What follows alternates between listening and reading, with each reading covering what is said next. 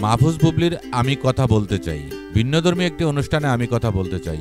এই অনুষ্ঠানে অংশ নিয়েছেন অভিনেতা মাহফুজ আহমেদ ও চিত্রনায়িকা শবনম বুবলি। রোববার রাতে সাড়ে দশটায় এটিএন বাংলা প্রচারিত হবে অনুষ্ঠানটি। এই অনুষ্ঠানের পঞ্চম পর্বে অংশ নিয়ে তারকারা তাদের অনেক অজানা কথা বলার পাশাপাশি বিভিন্ন সচেতনামূলক তথ্যভিত্তিক ও প্রাসঙ্গিক বিষয়ের উপর রচিত নাট্যাংশে উঠে আসা বিভিন্ন প্রশ্নের উত্তর দিয়েছেন। অনুষ্ঠানের বিভিন্ন অংশের বিষয়বস্তু ও প্রশ্নোত্তর দিতে গিয়ে তারা কখনো আবেগপ্রবণ হয়েছেন কখনো বা নস্টালজিক হয়ে পড়েছেন। B news Dhaka